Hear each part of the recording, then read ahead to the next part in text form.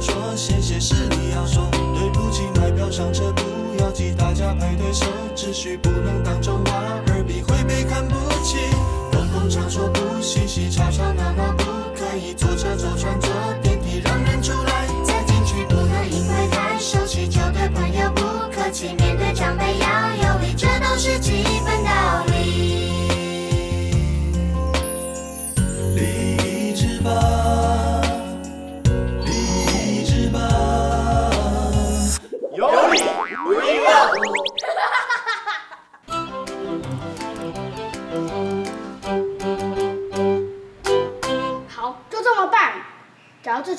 话，我都再也不要李星星了。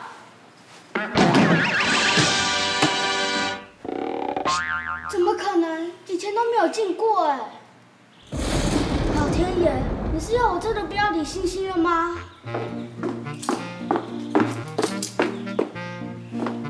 真巧，在想什么啊？妈，你今天好早下班哦。对了，你可不可以帮我一个忙啊？当然可以啊，我们进去再讲哈，快点。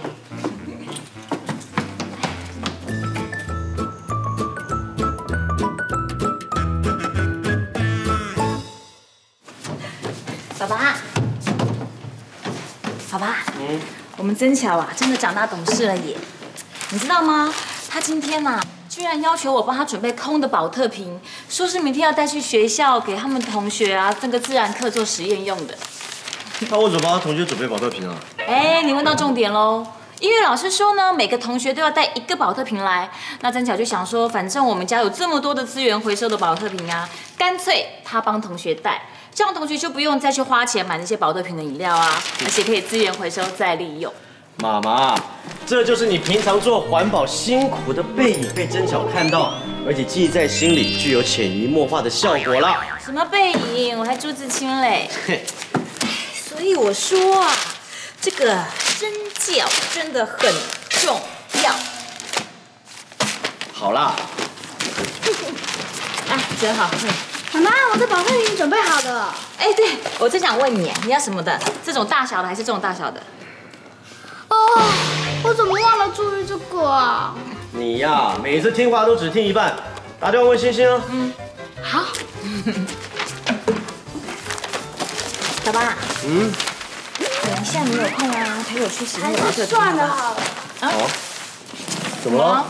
现在不要打扰星星念书了，他他要代表我们班去参加国语文比赛，问国宝也一样。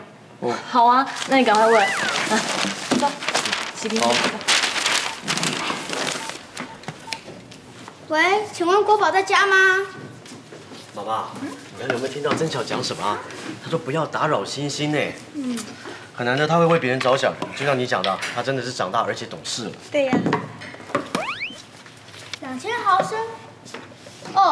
好，那我知道了。国宝，谢谢哦。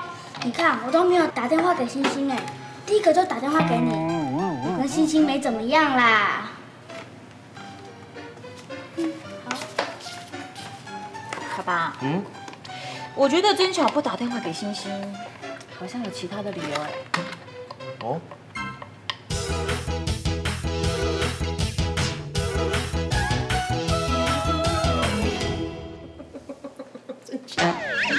哦，你这样就对了。你妈妈小时候哦，哦那个成语学的极好嘞。李哥哥就是靠我教才拿到作文比赛冠军呢。好，你有什么问题，你尽管问，我教你。这一题，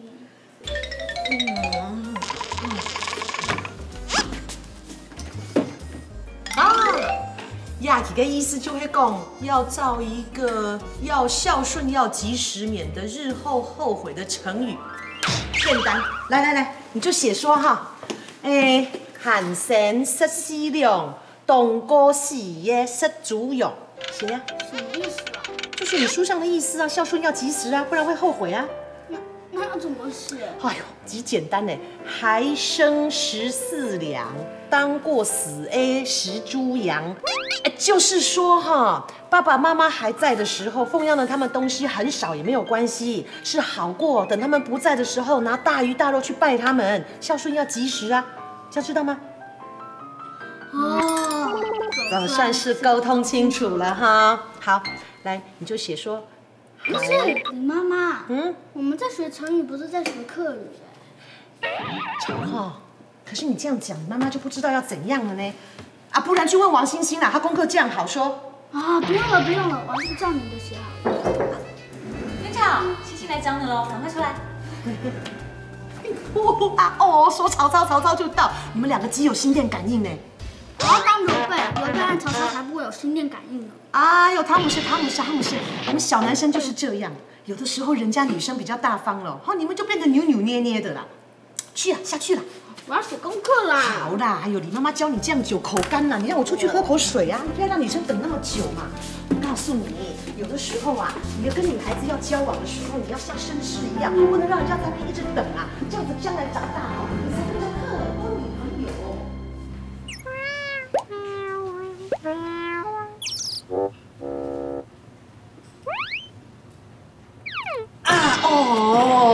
巧啊，人家星星来你们家呢，你怎么都理都不理人家？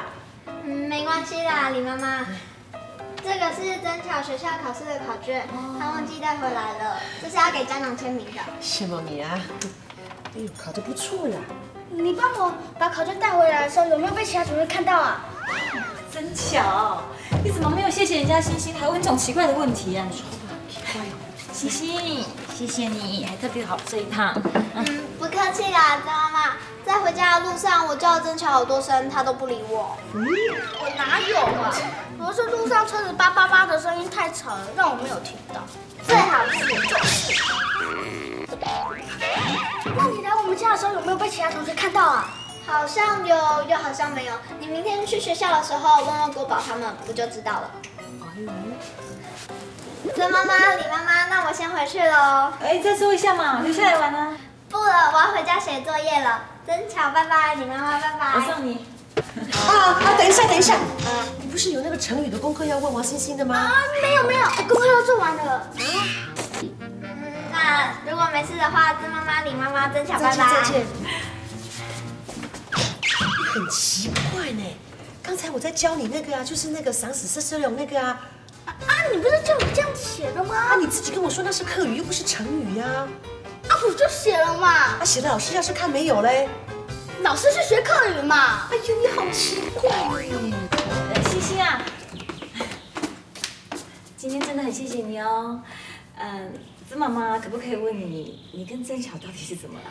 哎呦，曾妈妈你也知道嘛，他们男生有的时候就是会这样别别扭扭的，不理他们，过一阵子就会好啦，你放心。哦，我妈都是这样应付我爸的。曾妈妈再见。哦，拜拜。哎，星星，曾宝宝拜拜。要走了，拜拜。拜拜。哎，你跟星星刚才讲什么啊？看你表情怪怪的。小孩子的事情我也搞不懂。你去哪里啊？哦，哦艾迪嘞，真巧，你有对王星星的意思就会欲擒故纵哈。什么意思啊？哎呦，就是你尬意啊，不想理他，装着酷酷的，这样王星星就会很担心，反而他就来更亲近你啊。哎呦，韩国语看我上去学的哦。什么？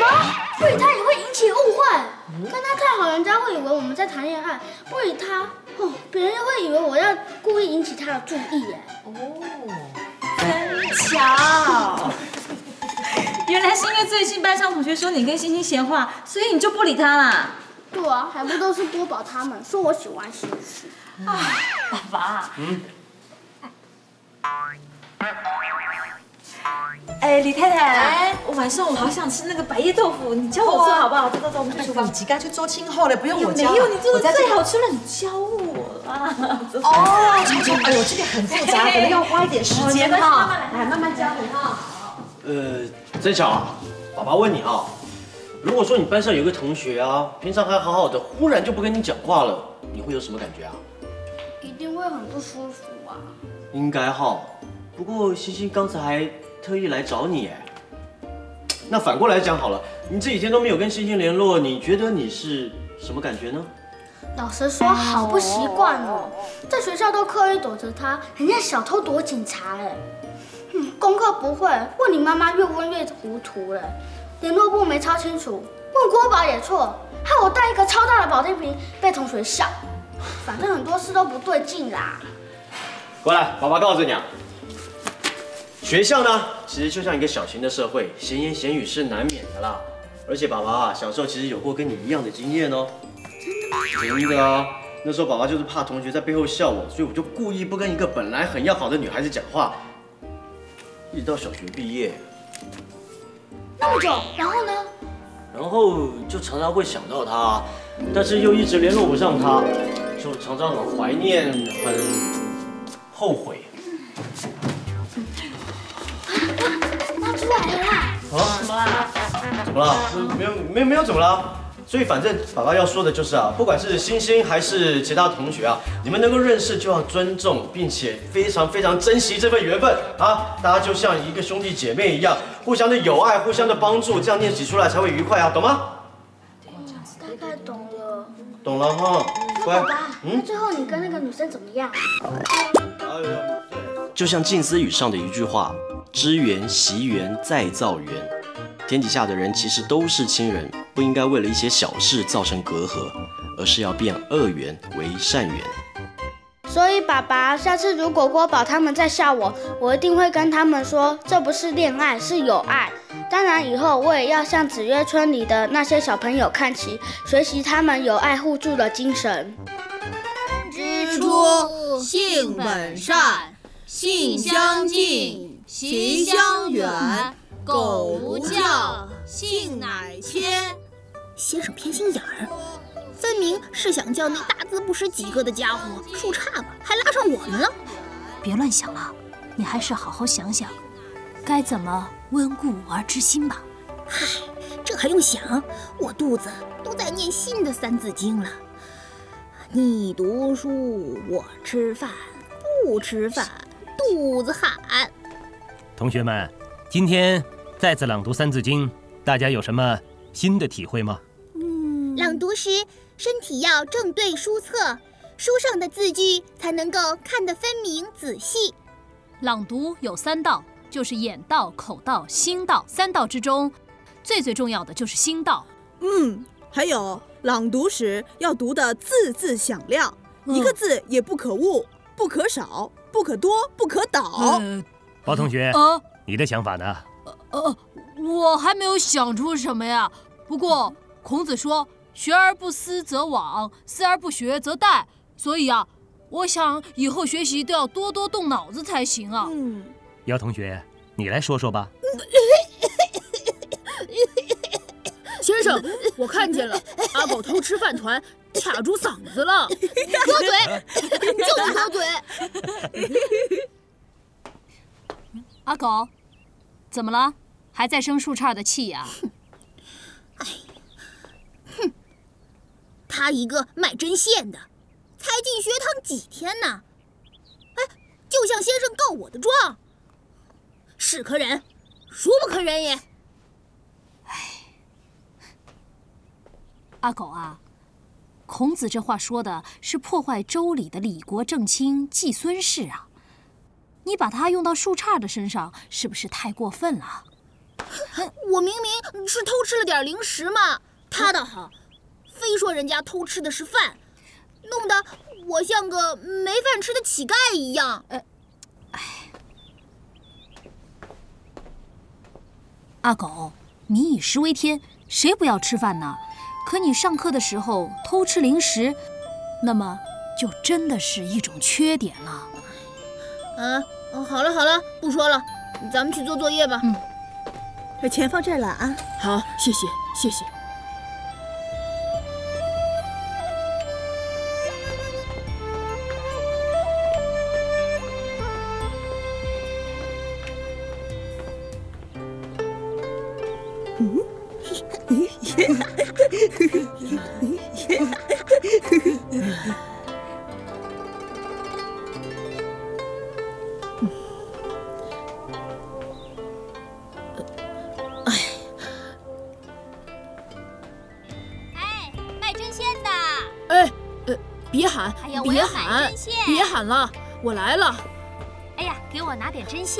我知道了。走走走，到外面拿出来吧。走，走走走，到外面去。行行行行行，那你快拿出来给我呀！来，拿出来吧。嗯，我要这种颜色的。嗯，好好好。哎，水粉胭脂又没了，真是不巧。那我明儿个再来吧啊！哎，别别，大婶儿，明天您不用来了，还是我给您送到家里去吧。哎呀，总让你送，不耽误学习呀，怪不好意思的。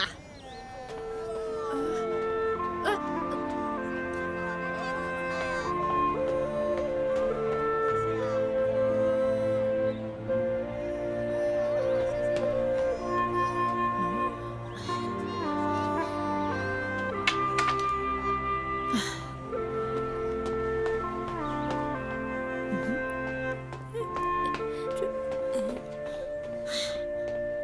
就说过，学堂门上插面卖针线的旗子，那这不像话嘛，就好像进了杂货铺一样。树杈为了筹集学费卖针线，有什么不好的？我看你应该向人家学习才对呢。才不呢！孔子说，道不同不相为谋。他卖针线，我学知识，不要来干涉我。嗯，阿狗，你怎么可以这么说呢？同学们，有一天，孔子的学生子路问道：“何如斯可谓之是矣？”子曰：“切切思思，怡怡如也，可谓是矣。朋友切切思思，兄弟怡怡。”顾华同学，你来讲讲这段话的意思。嗯。子路向孔子请教，怎样做才算是真正的士呢？孔子说：相互鼓励，相互批评，和睦相处，做到这些，就算达到了士的标准。嗯，同学们，顾华同学回答得很好，但是呢，还不够全面。同学们每天在学堂一起读书学习，就像一家人一样，所以同学们也应该像兄弟般的和睦相处啊。是啊，我明白了，先生讲的真对。同学们在一间屋子里共同学习，一起生活，只有兄弟姐妹才能够这样哦。嗯。姚科同学，啊，先生问你，啊，同一间屋子里生活的兄弟，怎么能够水火不容呢？百公居肆，以成其事；君子学以致其道嘛。他卖针线，我学习，本来就就就风马牛不相及呀。可是，如今高志同学和大伙一样，都是学堂的学生了，你们就有了追求士的相同目标了。孔子说：“有教无类，只要愿意学习，都是他的学生。”先生我也是一样的。我看呐，这么多天，先生都没教他识一个字，还以为先生不打算教他呢。在《论语·子张篇》里有句话说：“君子之道，孰先传焉，孰后倦焉？辟诸草木，屈以别矣。”姚可同学，这话是什么意思呀？呃，好像是说先教什么，后教什么，好比草和睦，哎，是有区别的吧？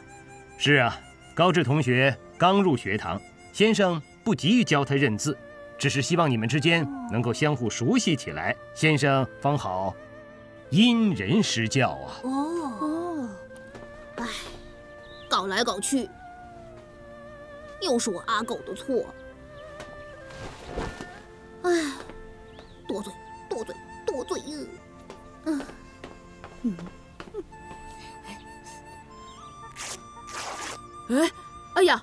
小猴把阿狗的衣服拿走了，啊是吗？哎，真的，哎，我的衣服，哎，小猴，我的衣服，小猴子，衣服，好啊你，哎，撕坏我的衣服呀！行看我不打你，哎呀，算了，别打他，就是啊，哎哎，你别跑，臭小猴狗，别跑，阿狗，咱们快去看看去，走，走。哎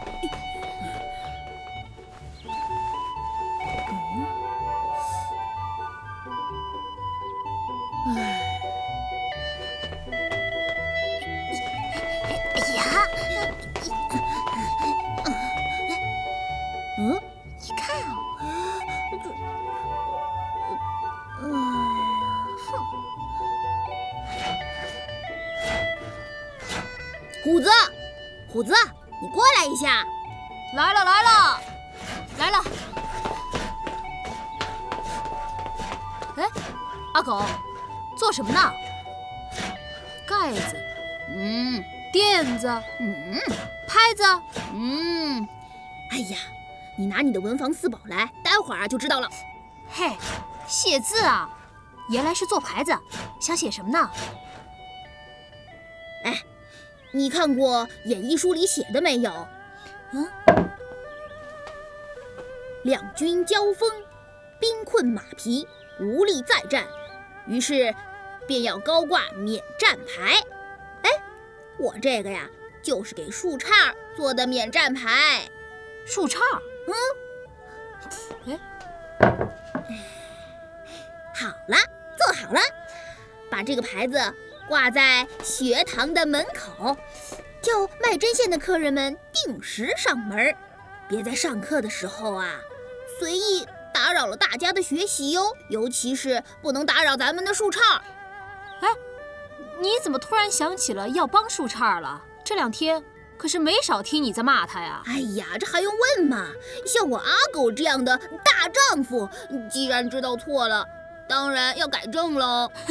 你瞧你这牌子，还真是免战牌啊！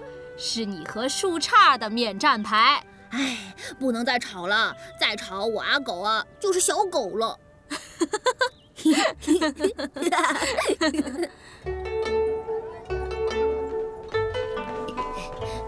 哎，树杈，啊，来来来来来，嗯，挂这，哎，嘿嘿嘿，不错吧？嗯，走，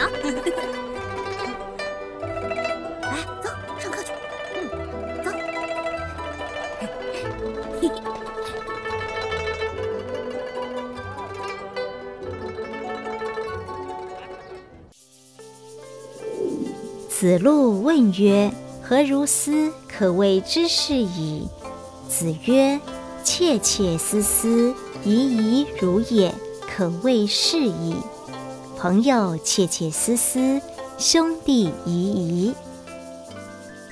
子路问孔子道：“怎样才可以称为士，也就是立志追求真理的人呢？”孔子说：“彼此互助、督促、勉励，相处和和气气，可以算是事了。朋友之间互相督促、勉励，兄弟之间相处和和气气。”孔子在这里勉励我们，朋友、同学之间在学业上要彼此相互学习、督促勉励；生活上要像兄弟姐妹一般和乐相处。这样子的话，不但我们心中充满喜乐，学习上更可以事半功倍。